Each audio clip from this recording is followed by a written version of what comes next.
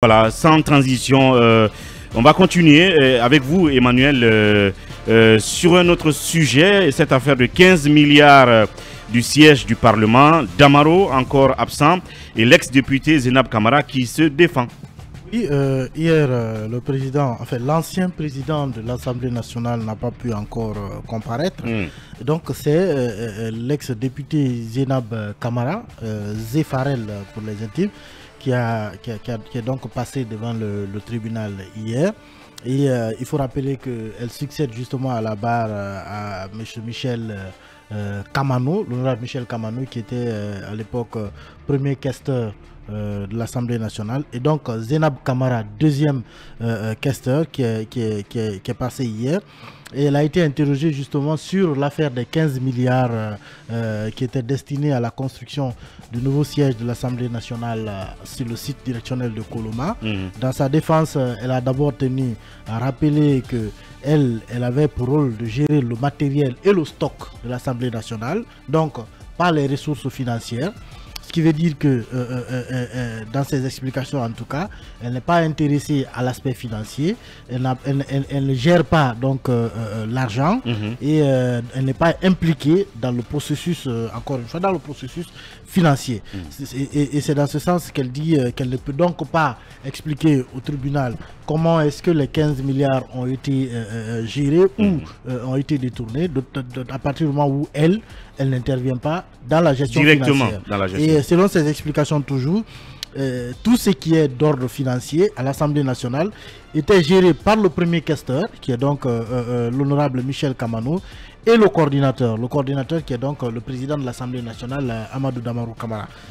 En, clair, Zenab, Kamara réfute donc sa responsabilité dans la destination que, ces fonds ont, eu à prendre parce que, euh, en tout cas, devant la CRIEF, euh, euh, continuant à, marteler le fait que dans sa position de deuxième casteur, ce qui relevait de sa responsabilité, c'était le matériel et le stock. Donc le dossier, le dossier, le dossier se poursuit. on ne sait pas si elle va encore recomparaître à nouveau, mais en tout cas, pour l'instant, euh, voilà, elle refuse cette accusation. Voilà, si euh, Damaro, lui, euh, a de la peine à comparaître à cause justement de son état de santé, Dame Zenab, elle continue à se défendre. Oui, Lincoln. elle se défend, elle est dans le pays, mm. elle a toujours répondu à toutes les convocations, toutes les convocations tous les appels, elle est présente. Mais j'ai comme l'impression que ce dossier est en train de traîner, parce que Zenab a été maintes fois entendu. Mais aujourd'hui, moi, j'aurais voulu que la justice dépasse vraiment ce niveau, puisque se fonde. on, traite définitivement son cas à elle. Mais, bien sûr, parce que le temps que les autres euh, viennent à comparaître. Oui, ce qui est grave, il y a des personnes aujourd'hui mm. qui ne peuvent pas travailler. Mm. même qui ne peuvent même pas prêter leur service à d'autres institutions internationales qui ont besoin, puisque simplement, ils sont en maille avec la justice. Aujourd'hui, je n'ai pas de, de, matériel et stock. Mais la justice peut faire un effort pour aller vérifier mm. si ces matériels dont on parle, ou les stocks là, ça existe. Et mieux que ça, par rapport à ce projet, le site c'est Coloma. Moi, j'ai échangé avec les proches d'Amaro qui disent que il y a encore le reste de l'argent dans le compte. Combien a été dépensé? La SEG Dans le compte de l'Assemblée nationale quand il quittait? Oui, cette ligne de budget, oui. Hmm.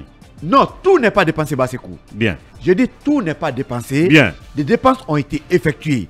Alors, ces dépenses, comment elles ont été effectuées? Hmm. Qu'est-ce qui a été fait? Puisque moi, j'apprends même que la SEG a reçu une partie du montant pour quelques travaux sur le terrain, mais aussi EDG, EDG encore en Guinée. La SEG est là. Le montant dépensé, peut-être on a une idée. Hmm. Mais il y a aussi le reste du montant qu'on ne dit pas, tout n'est pas encore vide. Aujourd'hui, moi j'aurais voulu que. Donc ils doivent être dans les caisses du CNT. Mais bien sûr. Aujourd'hui. Non, la caisse de l'Assemblée. Bon. Le CNT. C'est pas le même compte que le non, CNT. Non, c'est pas le même compte. Bien. Dans ça, à faire notre travail. Bien. Euh, je crois que c'est un peu différent. Bien. Donc, il faut qu'on aide les Guinéens porter des croyances. Ce que je dis, hmm. c'est clair. Il y a, le compte du CNT est différent du compte de l'Assemblée nationale. Je sais de quoi je vous parle. Bien. Mais qu'on nous aide, en tout cas, à évoluer dans ce dossier. J'ai hmm. comme l'impression que ça stagne et pratiquement, ça devient un gros détanglement pour, en tout cas, ceux-là qui ont envie que la justice fasse rapidement son travail. C'est le cas de Jenab Nabaya qui est aujourd'hui pratiquement en prison parce qu'elle ne peut rien faire. Et c'est un peu dommage. Talibé Bari, là-dessus on avait évoqué ici le cas euh, Genab euh, Camara. Hmm. Vous vous rappelez les premières auditions au niveau de la gendarmerie dans cette affaire hmm. ont eu lieu en avril 2022. Bien. Et c'est suite à ces auditions que Damaro a été envoyé en prison. Et en tout cas, le, le Chinois, lui, il n'avait pas été arrêté. Lucien Kamara, lui, il avait été arrêté comme Damaro, donc mis en prison. Mais au sorti de ses audiences au niveau de la gendarmerie, il avait été demandé à Farel de rentrer chez elle parce qu'on n'avait rien contre elle. Hmm. Donc, dans un premier temps. Oui, dans un premier temps. Donc, hmm. elle, elle n'a même pas été au niveau de la CRIEF. Donc, ses auditions sont limitées au niveau de la gendarmerie. Hmm. Donc, ça, c'était en avril 2022. Ce n'est qu'en janvier 2023 euh, euh, qu'elle apprend par voie de presse que et elle fait l'objet d'un mandat d'arrêt. Donc, euh, tout le monde a été surpris hmm. de, la tournure des événements. Et finalement, elle se présente, elle dit, mais je ne suis allé nulle part. Depuis l'étape de la gendarmerie, on ne m'a plus convoqué au sujet de ce dossier. Vous lancez un mandat d'arrêt contre quelqu'un qui est là, qui n'a jamais reçu une convocation hmm.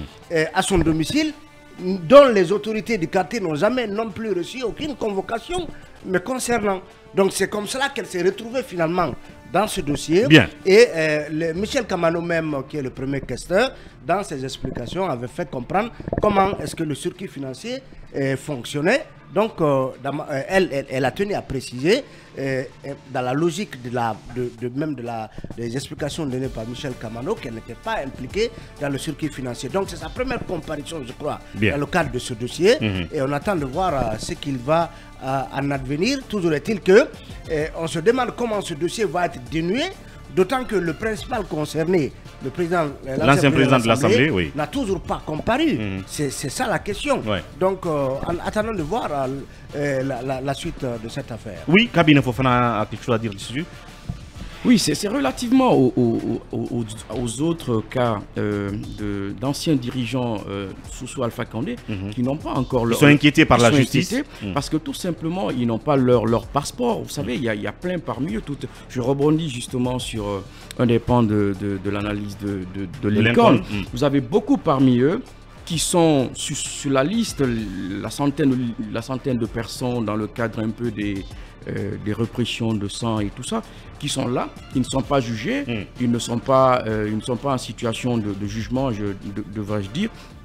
Mais on les a mis sur cette liste-là, ils n'ont pas, ils n'ont pas leur passeport. Et vous hmm. voyez par exemple, lorsque vous êtes cité dans les questions comme ça, le minimum pour que cela ne se retrouve pas chaque fois que vous tapez euh, le nom de la personne sur un moteur de recherche comme Google, le minimum de temps c'est 10 ans. Bien. Aujourd'hui, si vous tapez Khalil, Khalil, Ibrahim Khalil Kaba, on vous, Google vous, sortira l'article concernant sa mise Ancien ministre des Affaires étrangères. Et euh, vous n'avez aucune entreprise, hmm. aucune entité sérieuse qui embaucherait quelqu'un hmm. qui, est, qui est, dont on reproche des crimes de sang. Hmm. Vous voyez, on les met sur la liste on ne les juge pas, mhm. on ne les discute pas parce que pour que ces gens aujourd'hui... Pendant ce temps, vous restez suspecté de, ce crime-là Pour qu'ils pour se, pour, se, pour se retrouvent et qu'ils soient embauchés, je vous dis, dans des entreprises sérieuses, mm. il faut que jugement soit fait et qu'ils soient disculpés. Bien. Vous imaginez toute la peine que ça fait, sans compter le, euh, comment je l'ai dit, l'affront psychologique mm. Et beaucoup parmi... Dommage, oui. Oui, bien sûr. Beaucoup parmi eux aujourd'hui sont sans boulot. Bien. Et ils sont perçus par, euh, par les siens comme étant des gens qui ont commis des crimes, alors que pour la plupart d'entre eux, ils ont travaillé à l'international, ils ont des connexions. Certains avaient commencé à travailler. Entre-temps, quand la liste est sortie, on les a tout de suite retirés. Ouais. Oui, Mamadou Diambalé. Que cette euh, belle dame soit une sainte nitouche euh, en termes de probité financière, euh, puisque des comptables innocents, il y en a très rarement, mais dans, pour cette affaire-ci, je crois que hmm. euh, elle doit être blanche comme euh, neige. Vous pensez, oui. Selon ce que même M. Michel Camano a dit, devant la Cour. Alors donc, elle devrait être, elle, euh, si vous voulez, tout simplement relaxée. Il faut la relaxer. Et continuer avec les autres. Oui, bien sûr, en attendant que l'honorable Damaro retrouver être apte à se présenter euh, à la barre.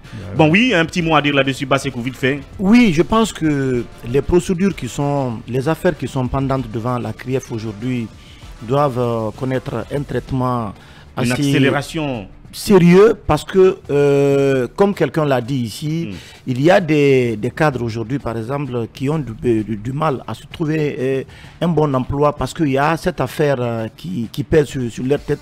Tout comme il y a de potentiels candidats aussi aux prochaines élections à venir, malheureusement, qui sont dans des situations assez difficiles. C'est pour cette raison moi, je suis parfaitement d'accord qu'il faut aller vers une réforme totale aujourd'hui de la CRIEF, à mon avis, qui ne répond plus aux exigences, euh, notamment euh, des citoyens, parce que l'idée de la création de cette CRIEF euh, a été bien accueillie, mais dans son fonctionnement, il y a beaucoup de problèmes dans la lenteur. Les procédures ont été biaisé. L'enquête préliminaire a été, a été, a été, n'a pas été très, très bien menée dans certains, euh, dans certains cas.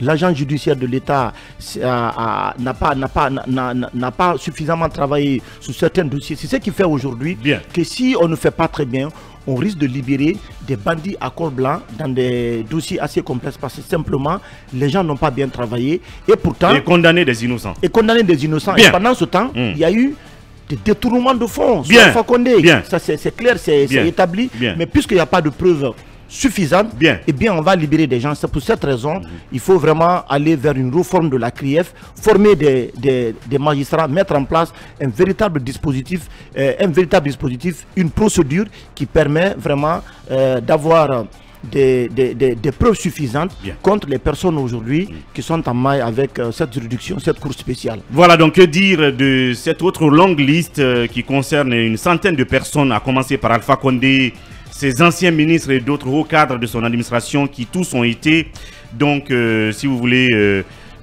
accusés de bien de griefs assez sérieuses, des crimes économiques aux crimes de sang. Euh, dont la procédure tarde à voir le jour. Et pendant ce temps, comme cabinet et Lincoln l'ont dit, leur réputation pour certains ont pris un gros coup et sur plusieurs années. Et que dire de leur euh, compte bancaire qui reste euh, fermé, gelé, avec des conséquences aujourd'hui, c'est clair, désastreuses. Nous reviendrons là-dessus et restons encore